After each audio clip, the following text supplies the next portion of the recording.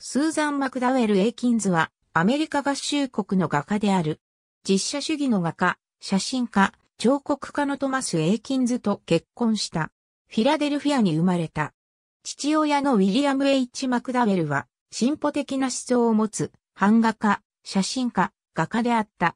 自由な環境で育ち、絵に興味を持ったスーザンと妹のエリザベスには絵を描くためのスタジオが与えられた。スーザンはピアノも巧みに弾いた。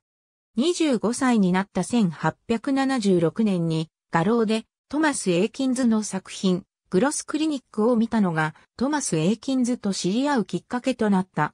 解剖学の授業の様子を描いたグロスクリニックは論議を呼んでいた作品であったが、スーザンはこの絵を見てトマス・エーキンズに絵を習おうと決意した。トマス・エーキンズが教えるペンシルベニア美術アカデミーに入学し、6年間学んだ。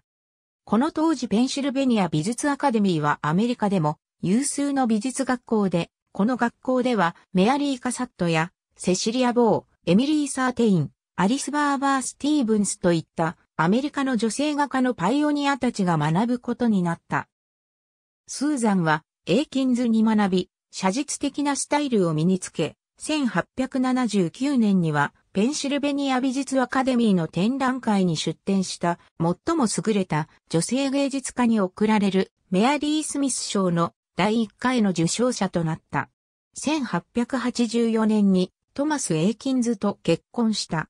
トマスが教師であった時も、1886年にトマスが女生徒に男性ヌードを描かせたとして美術学校を解雇された後もトマスを支えた。それぞれ家の中に別のスタジオが作られたが、結婚後はスーザンの絵を描く機会は減少した。夫が写真の分野に興味を持つと、スーザンもその情熱を共有した。1898年にフィラデルフィア写真サロンの会員になり、サロンに作品を出展した。トマスとの間に子供はできなかった。1916年にトマスが没した後、精力的に作品を描くようになった。1938年に没した。ありがとうございます。